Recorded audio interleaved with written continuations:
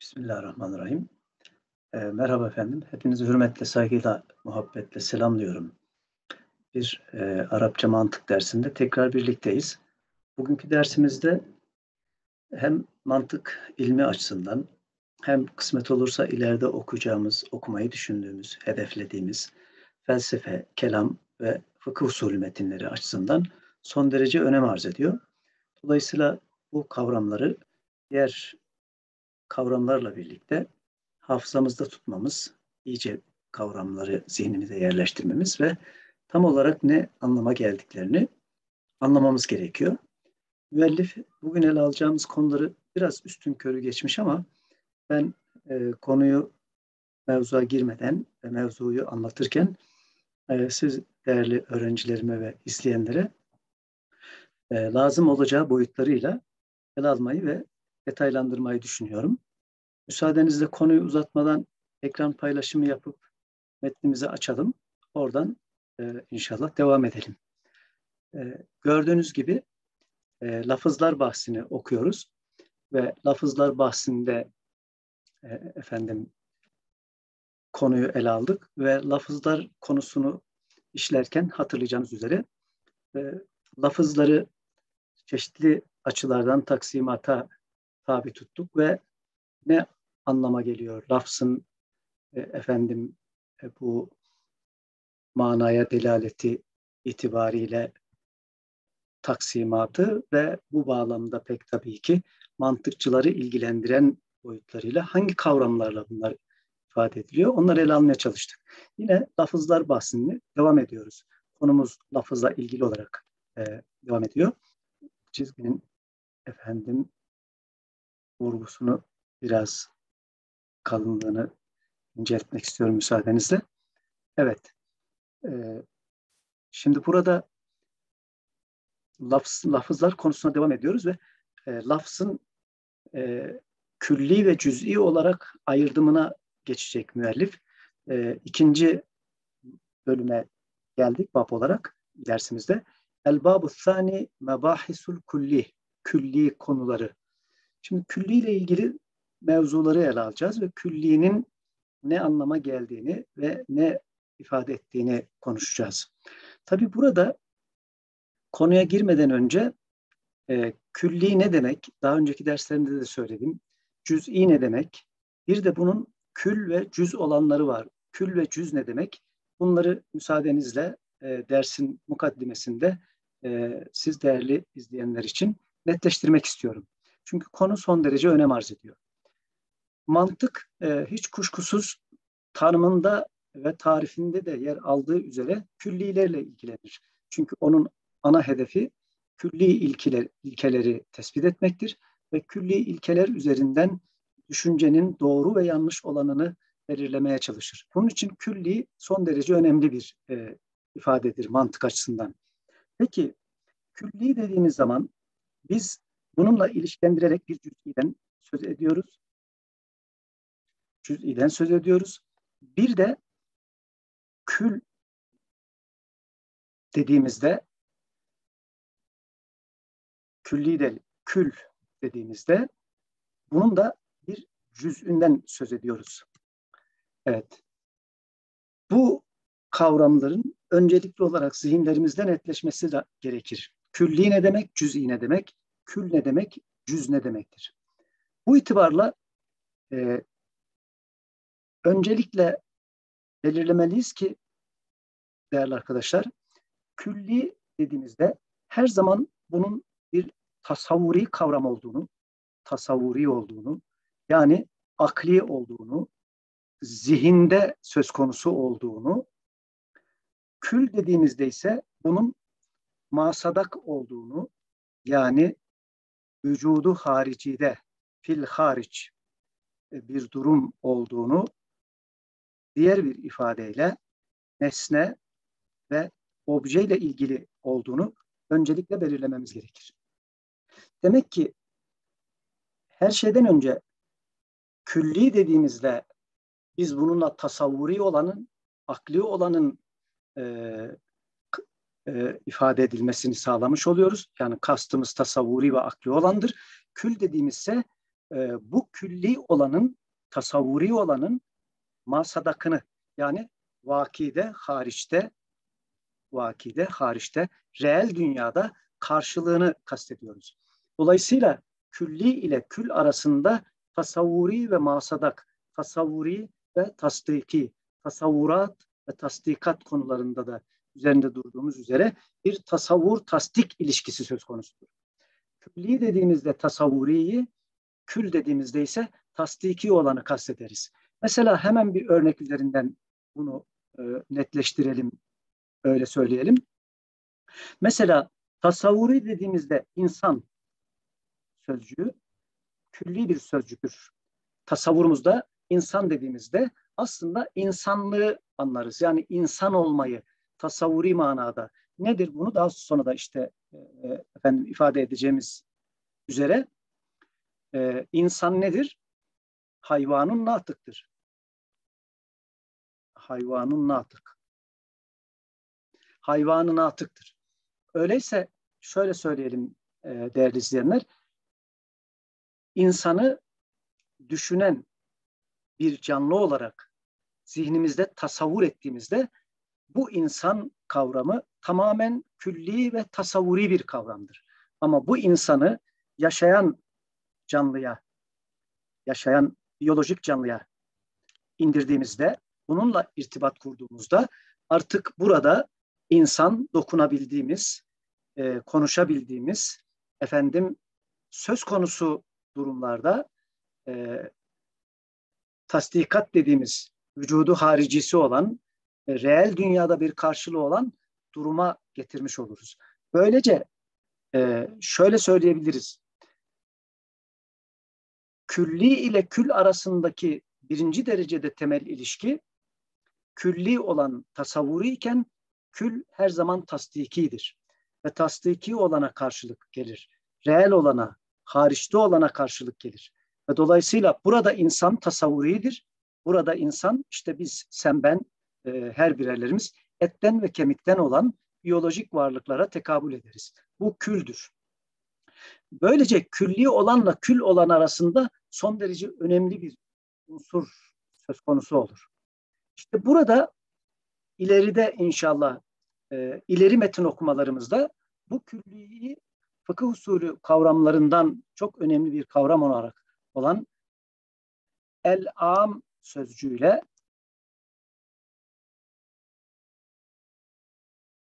külü de mutlak sözcüğüyle el mutlak irtibatlandırarak ileride yeniden el alacağız. Dolayısıyla külli ve kül sözcüklerinin kavramsal olarak zihnimizde netleşmesi son derece önemli olan son derece önemli olan bir hususu ifade eder ki bu husus hem kelam metinlerinde hem fıkıh usulü kelam e, metinlerinde e, işte özel kavramlar olarak am lafızlar, e, mutlak lafızlar gibi lafızlarla da irtibatlarını kurarak ileride bunların zihinlerimizde netleşmesini mümkün kılacağız. Ama öncelikle birer mantıki kavram olmak bakımından külli ne demek, kül ne demek onu anlamaya çalışıyoruz. Şimdi madem ki külli tasavvuridir, kül de tasdikidir, o halde şimdi yeniden tekrar bir kez daha külli olanı şöyle bir daire olarak belirleyelim. Bunun içerisinde külliye ait olan ne kadar eleman varsa bunun bir sayısı söz konusu değildir. Yani bir sözcük külli ise ve tasavvuri ise müştemilatı yani kapsam alanına giren, şumulü dahiline giren elemanlarının sayısı söz konusu olmaz. Ne kadar olur, az olur, çok olur fark etmez. Bunların sayıları belirlenemez. Ve dolayısıyla e, mantık açısından da e, şu son derece önem arz eder. Külliğinin kapsam alanına dahil olan her bir şu x'lerin, her birerlerinin adı cüz'idir. Cüz'idir. Peki neden cüz'idir? Çünkü her biri de bu cüz'ilerin her biri de tasavvuridir de ondan. Buraya dikkat buyurunuz lütfen. Külli nasıl tasavvuri ise cüz'i de tasavvuridir. külli nasıl tasavvuri ise cüz'i de tasavvuridir. Buraya lütfen dikkat edelim. Çok önemli çünkü bu. Hani daha önceki derslerde de söyledim. Külli ile kül, cüz'i ile cüz arasını ayırt etmeyenleri eskiler muhatap almazlarmış diye söylerken işte ne kadar önemli bir ayrıntı ve ne kadar e, gerçekten hayati bir e, aralarında anlam farklılıklarının özellikle ilmi anlamda, ıstılahi manada farklarının olduğunu görüyoruz. Şimdi buradan hareketle tekrar söylüyorum. Külli nasıl tasavvuru ise cüz'i de öyle tasavvuridir. Mesela bunu biraz açalım. İnsan külli bir kavramdır. Öyleyse şu daireye tekabül eden. Bu daire insandır. Tasavvuri olarak bu dairenin içinde ne kadar insan cüz'ini tasavvur edebiliriz? Sınırsız. Buradaki her bir fert insan olarak tanımladığımız insan tasavvurunun her bir ferdi de tasavvuridir ve sınırsızdır. Şimdi buraya gelelim. Kül olduğunda insan, insan kül olduğunda ne olur? İnsan kül olduğunda hiç kuşkusuz biyolojik bir varlık olarak yaşayan insanların toplamı olur. Yaşayan insanlar. Yaşayan insanların toplamı. Peki bu yaşayan insanların toplamının bugün bir sayısı var mı? Aşağı yukarı var. Sayabiliriz bunu. Ama tasavvuri olanı sayamayız. Kül olduğunda sayabiliriz. Eksik olur, fazla olur ama sayabiliriz. Peki kül olarak insana kül olarak bütününe dokunamayız ama bütününün bir tasdikat ve obje ve nesne olduğunu gördük mü? Evet. Dokunabiliyor muyuz? Evet. Cüz'ü ne oldu peki bunun? Cüz'ü de ferd oldu. Cüz'ü de ferd oldu. Peki ne oldu? Zeyd oldu, Ali oldu, Hasan oldu, Ayşe oldu, Fatma oldu vesaire. Dolayısıyla demek ki e, kül olduğunda onun cüzleri de tasdikidir. Külliğinin nasıl cüz'isi tasavvuru ise kül nasıl obje ve nesnedir? Onun cüzleri de nesnedir. Yani reeldir, olgusaldır. Şimdi bu son derece önemli bir husustu. Dolayısıyla kül ile külli arasındaki bu temel ayrımın e, konuya girmeden önce zihnimizde netleşmesi gerekiyor. Müellif bunlara değinmediği için e, bu ayrıntıları benim bir mukaddime olarak sizlerle paylaşmam gerekiyor. Şimdi bu konunun önemli ölçüde aydınlanmış olduğunu düşünüyorum ve bir başka hususu daha kül ile külliğinin farklarını göstermek bakımından ele alarak yazmak istiyorum. El küllü kül. El külliyu külli. İleride önermeler bahsinde geldiğimizde yüklemli önermeleri konuşmaya başladığımızda ve önermeler bahsini ele alacağız inşallah.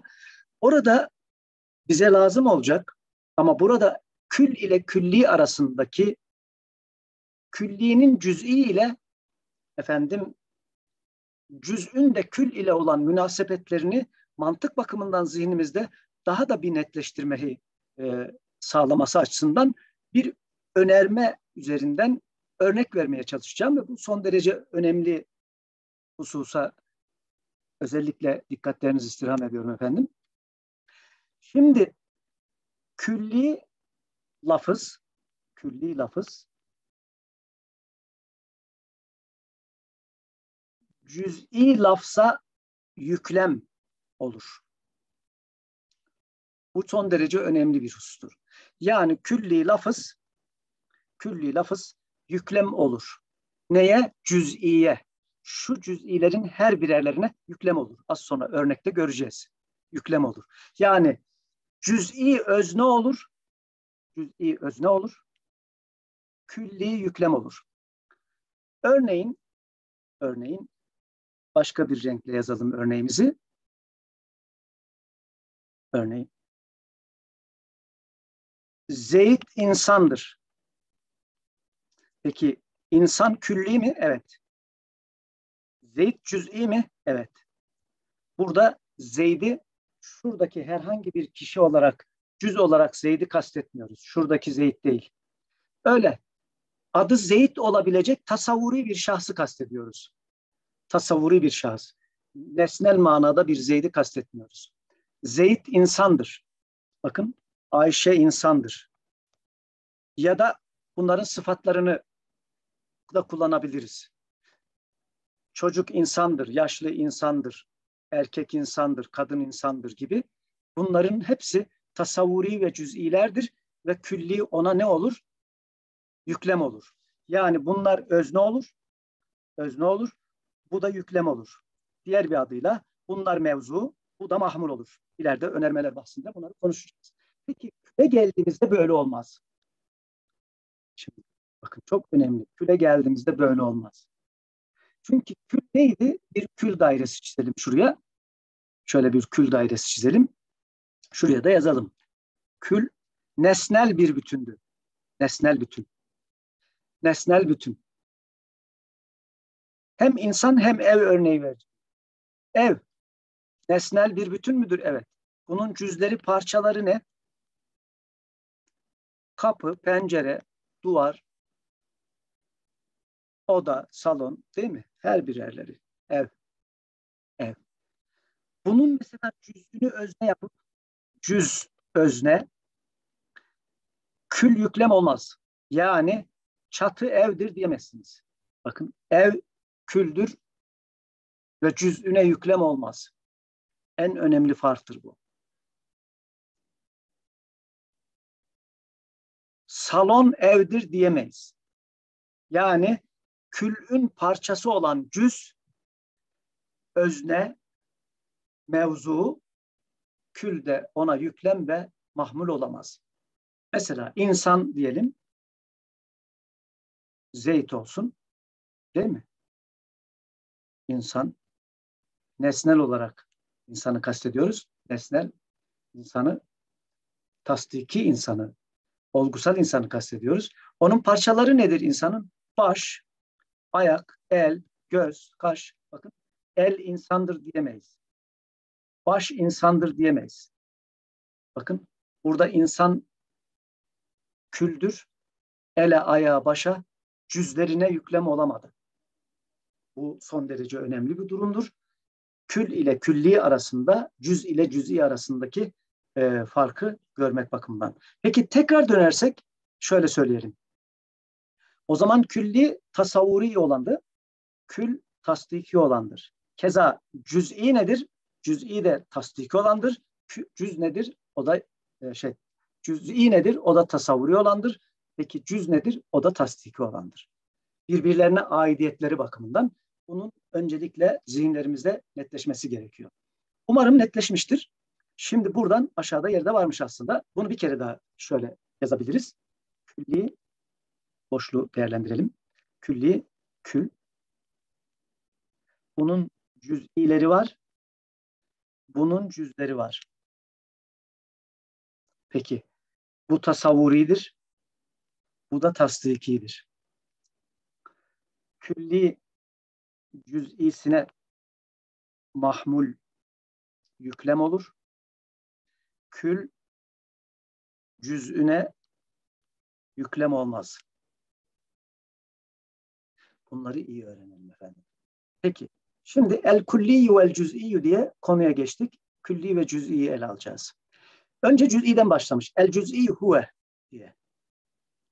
El cüz'i huve bu mefhum üzerinde durmuştuk biliyorsunuz. Mefhum nedir, mana nedir? Bunların üzerinde durmuştuk.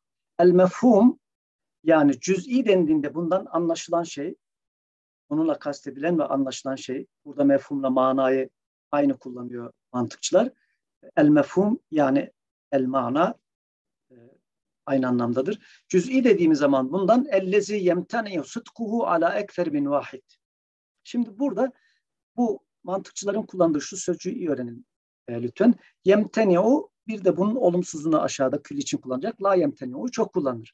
Yani bu engel olur olmaz diye genel olarak Türkçe tercüme ediyoruz ama burada kastedilen kapsar ya da kapsamaz diye ben tercüme edeceğim. E, çünkü böyle bir tercümenin konunun e, anlamını daha iyi yansıttığı kanaatindeyim.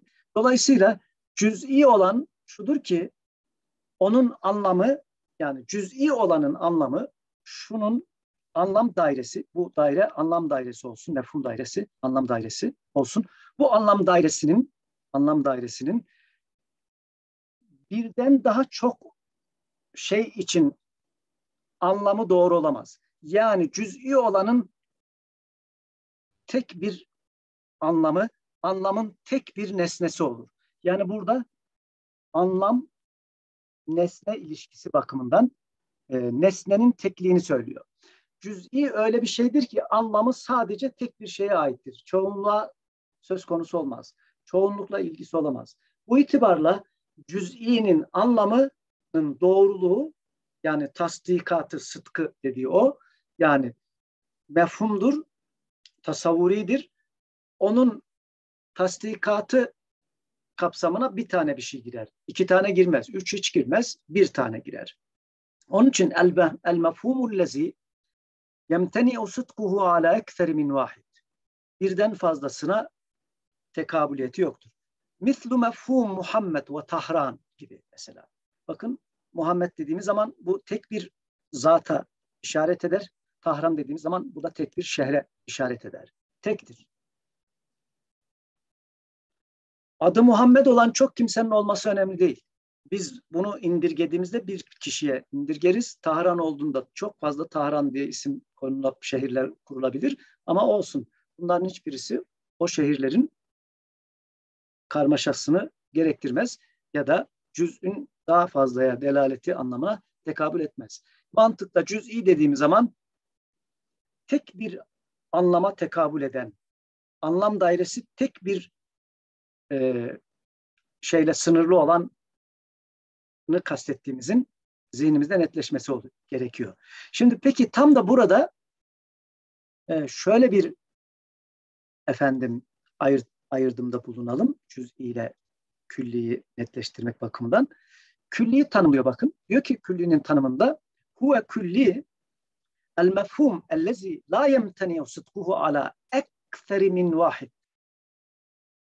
Külli olunca birden fazlaya manasının delaletine bir engel söz konusu değildir. Yani kapsam alanı geniştir. Yukarı gelelim, külliye gelelim. Bakın bir daire çizdik. İşte bu. Yemteni'u dedi bu. La yemteni'u el kulliyu la yemteni'u engel olmaz. Yani kapsar. Neyi? La yuaddu ve la yuhsa sayılamayacak, hesap edilemeyecek ölçüde cüz'ileri kapsar. Cüz'iyata şamil olur.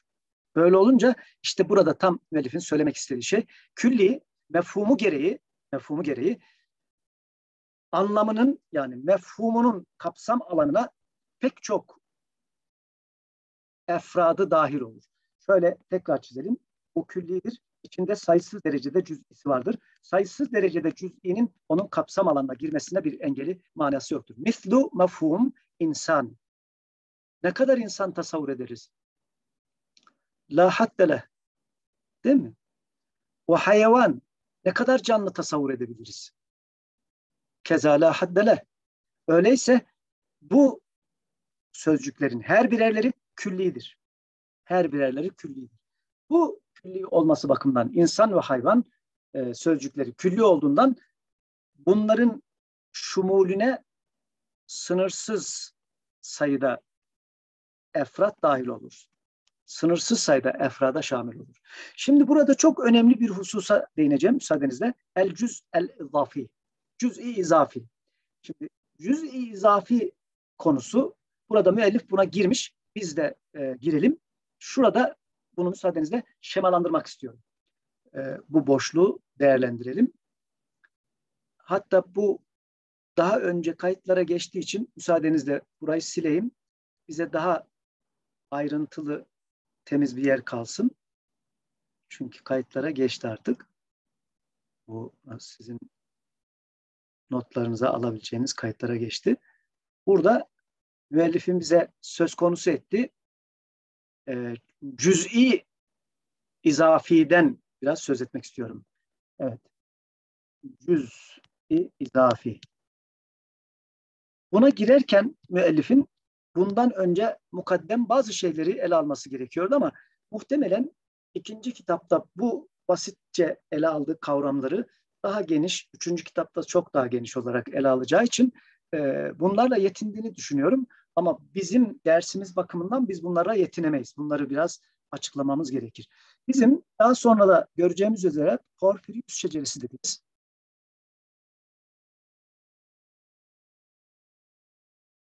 mantıkta bir şeceremiz var. Şimdi bu mantıktaki Porfirius şeceresi e, son derece önemli. Birazdan ele alacağımız konunun anlaşılması bakımından da keza önem arz ediyor. E, bu şemayı biz erken de olsa şimdiden ele alıp görmüş olalım ve cüz izafi üzerinden de onu değerlendirelim. Ne anlama geliyor? Sonra metni oku, okuyalım ve orada e, eğer siz de uygun görürseniz dersimizi uzatmadan bitirelim. İnşallah e, çok yakın bir zamanda tekrar bunun devamındaki konuları da ele almaya çalışacağım. Sınavlarımız bitiyor, rahatlayacağız. Daha sık dersler inşallah yapmaya çalışacağım. Bilgisayarımın şarjını ihmal etmeyeyim. Evet, şimdi varlık diye bir üst kavramımız var. Bu varlığı taksim ediyoruz bakın. Taksim yapıyoruz. Hani taksimden ve tasniften bahsetmiştim. Ee, efendim cisim olan ve cismi olmayan. Cisim olanları ikiye ayırıyoruz. Nami eskiler böyle derler. Yani gelişen gayri nami yani gelişmeyen gelişenleri efendim ikiye ayırırlar. Ruhu olan ruhu olmayan işte ruhu olanları hayvan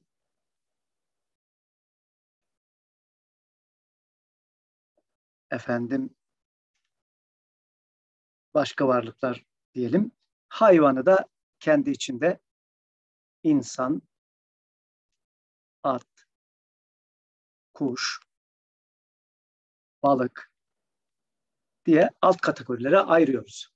Şimdi değerli izleyenler, burada gördüğünüz gibi içlem ve kaplam dediğimiz bir aşağıya doğru bir de yukarıya doğru efendim ok çizdiğimizde aşağıya doğru kaplamını, yukarıya doğru içlemini e, ifade eden bu ilişki içerisinde buna porfirius şeceresi diyoruz.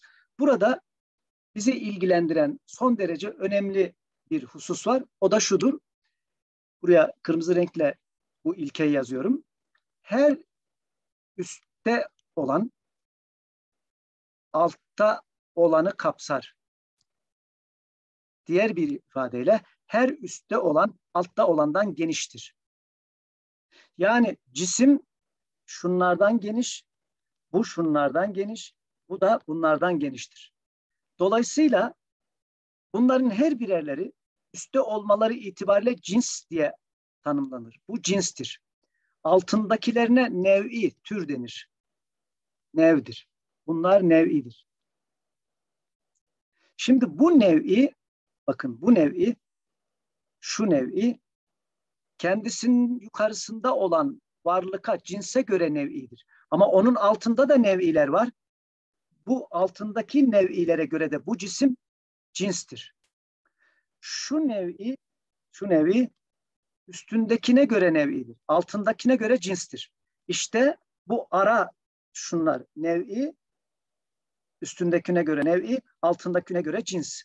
İşte hem nev'in hem de cinsin birlikte buluştuğu şu kavramlara izafi kavramlar diyoruz. Bunu iyi öğrenelim. İzafi kavramlar. Yani bir kavram ki bunları bir iki ders sonra galiba nisebi erbaa gelecek. Nispetleri konuştuğumuzda daha inşallah sizin için netleştireceğim. Orada daha geniş bir biçimde ele almayı, üzerinde durup bunlarla ilişkilendirmeyi düşünüyorum. Dolayısıyla bir kavram düşünün ki bu kavram üstündekine göre izafi, nispet bakın üstündekine göre bir anlamı, altındakine göre bir anlamı var. Üstündekine göre nev'idir. Yani üstündeki cinstir, onun altında nev'idir. Kendisinin altında da nev'iler varsa bu defa da kendisinin altındaki nev'ilere göre de cinstir.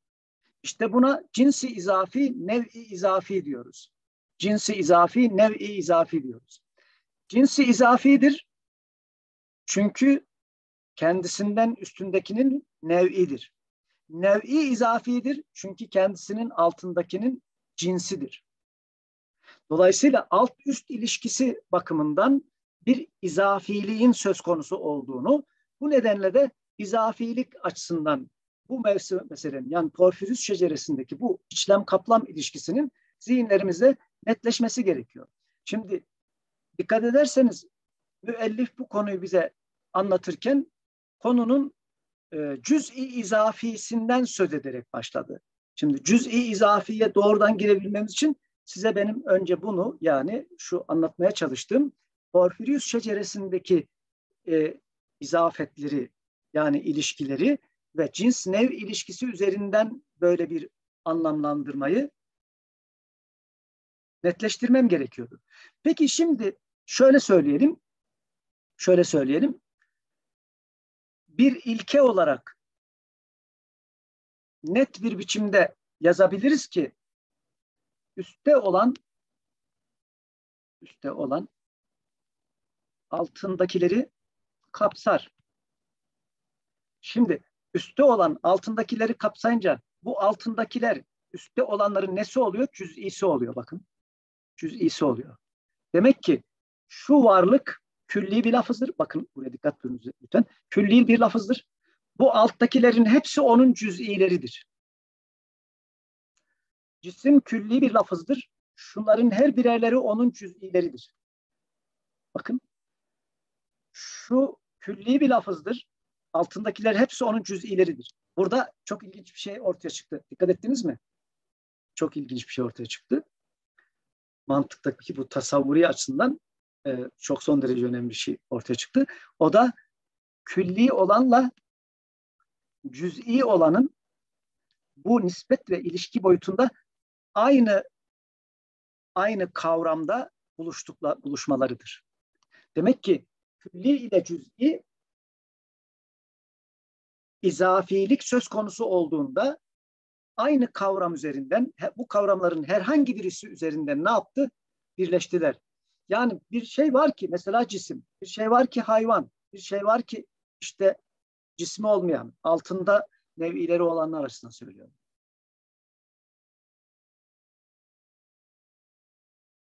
Altındakileri itibariyle külli oldu. Çünkü altındakiler onun cüz'ileridir. Üstündeki itibariyle de cüz'i oldu. Çünkü kendisi külli ama kendisinden daha külli olanın cüz'isi oldu. Şöyle resmedebiliriz. Morpheus şeceresini.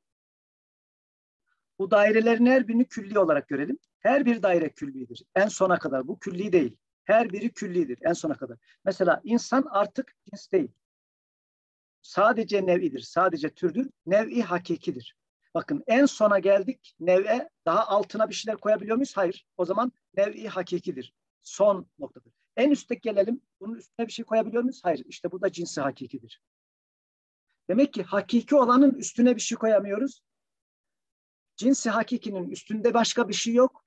Yani cinsi hakiki başka bir şeyin cüz'i değildir. Nev'i hakiki de başka bir şeyin cinsi değildir. Cinsi izafi değildir. Bu cinsi izafi olmaz. Nev'i hakikidir. Bu da cinsi hakikidir. Nev'i izafi olmaz. Porfirius şeceresinin bir en üstü bir de en altı vardır. İşte burada da böyle. Bu daireler de böyle. Bu dairelerin her biri küllidir. Neye göre? İçindeki dairelerin küllisidir. Her birerleri cüz'idir. Şunlar cüz'idirler. Neye göre? Kendisinin dışındaki daireye göre o dairenin cüz'idirler. Umarım anlatabilmişimdir. Dolayısıyla cüz'i izafi konusuna müellif geçince benim böyle bir porfirius şeceresinden ve bu muhtevadan söz etmem gerekiyordu. Umarım inşallah yararlı olmuştur. Şimdi az bir şey kaldı zaten görüyorsunuz. Bunu bitireceğiz. Temri var. Çok vaktinizi almayacak. El cüz'il el cüz'iyyul idafiyyu. Cüz'i izafi. El cüz'i ellezi tekaddemel bahse anhu. Yani az önce bundan bahsettik. Yani mefhumu sadece bir tek şeye delalet eder diye söyledik. Yüsemmel cüz'i el hakiki. O tanımını yaptığımız tek bir şeye delalet eder diye tanımını yaptığımız cüz'i hakikidir. Ne demek? En alt cüzdür. Yani Muhammed Tahran dediğimizde bu bir şeye isim olur, cüz'idir, tek bir şeye delalet eder mefhum itibariyle. Artık bunun başka bir şey yoktur. Üstü altı yoktur. Şey, daha altı yoktur, hakikidir, cüz'i hakikidir. Ve huna istilahun. Burada şimdi bir başka kavram daha söz konusudur ki kim için? Lil cüz'i. Ama nasıl bir cüz'iden söz ediyoruz? Yukarıda bahsettiğim cüz'iden. Yani müellifin bu cüz'iyi kullanması konusu biraz kapalı kalmış. İzahlarımla bunu açmaya çalıştım. Umarım açmışımdır. Şimdi cüz'inin diyor başka bir kavramsal anlamı daha vardır. Yukalu lehu el cüz'iyyul izafi. Cüz'i izafi denir buna. Peki cüz'i izafi niye deniyormuş? Ve huve kullu mefhumin bakın bil izafeti kıyasla, nispetle ila mefhumin evsa minhu dairete. Yukarıda daireler çizdik. Demek ki anlam bakımından kendisinden daha geniş olan bir anlama sahip olan yani külli demektir. Külliye izafetle kendisinden daha geniş anlama delalet eden külliye nispetle bu ne anlama geliyormuş? Cüz'i izafi. Sevaun kana cüz'iyen hakikiyen bu isterse cüz'i hakiki olsun nispet ettiğimizde yukarıya ev külliyen bakın ev külliyen. İster cüz'i hakiki olsun ister külli olsun. Bakın şurada ikisi birleşti dedik ya küllileri konuştuk. Şurada neredeydi? Evet şurada. Bakın külli cüz'i bir araya geldi ya. İsterse sevaun kana cüz'iyen hakikiyen cüz'en hakikiyen ev kulliyen külli olsun fark etmiyor. Çünkü buradaki nispet, izafet üst ve alt ilişkisi bakımındandır. Nispettir. En nisebul erbada e, sanıyorum önümüzdeki derste bunu inşallah daha farklı boyutlarıyla ele almaya çalışacağım. Peki şimdi örnek vermiş. Diyor ki Fezeydun meselen mesela Zeyd nedir? Zeyd isimdir. Cüz'iyyun hakikuyun fi nefsihi. Bakın bir cüz'i hakikidir. Kendisinde zatında bir şahsa delalet etmek bakımından nedir? Bir cüz'i hakikidir. Tasavvuri olduğunda da böyle. Tasavvuri olarak da birine Zeyd dediğimizde o bir kişinin tasavvurumuzda da yine bir kişinin adı Zeyd'dir. Ve cüz'iyyun idafiyun bil kıyas ilel hayvan. Bakın şimdi. Burada işte kapalı burayı daha iyi ifade edebilirdi. Bu ifadesini beğenmediğimi söylemek istiyorum. Ee, diyor ki kendi zatında cüz'i hakikidir. Nefsine delaleti bakımından Zeyd'i söylemiş. Burada hayvana nispet etmiş hayvana. Yani burada insan anlamında. Çünkü hayvan şöyle yazalım. Hayvan bir cinstir. Cinsi izafidir. Yukarıdakinin ne nispetle de nev'idir. Kendisi üstündekine göre nev'idir. Altında ne var? İnsan, at vesaire değil mi? Hayvanın türleri var. Peki insanın altında ne var? Zeyd, Ayşe, Ali vesaire var.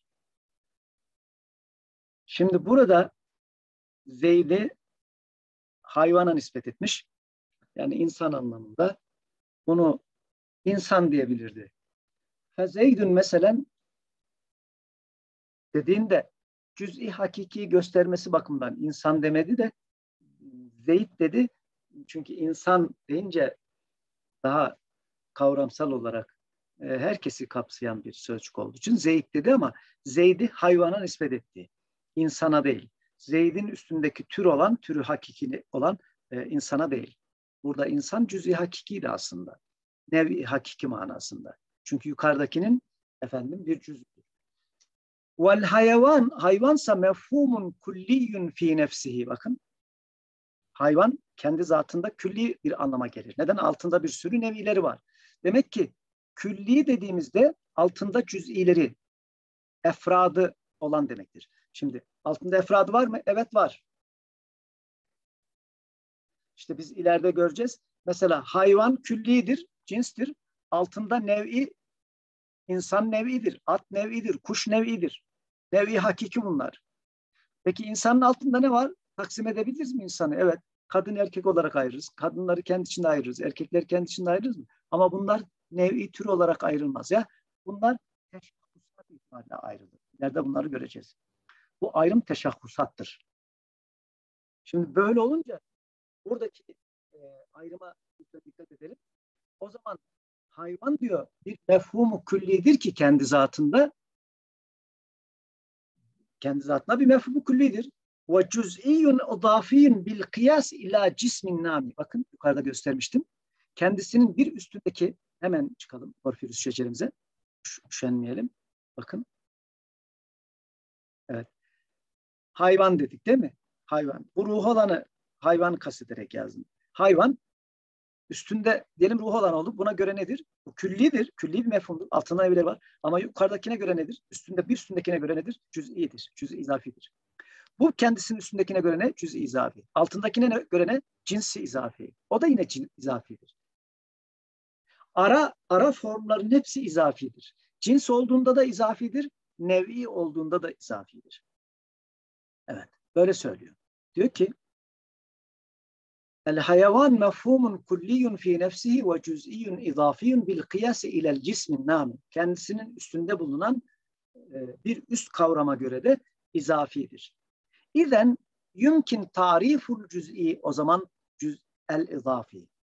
Cüz'i izafinin tanımını şöyle yapmak mümkündür o zaman. Bir ennehu şöyle ki el ahas bakın min şeyin daha özel, daha hastır, daha dardır. Kapsam alanı daha dardır. Ev el mefhumul mudaf izafe edilen, dayandırılan bir anlamdır. Anlamını ancak bir dayanakla, bir isnatla, bir isnatla kazanabilir. Neye? İlâ mâ huve evsâ minhu daireten. Kendisinden daha üst düzeyde bir efendim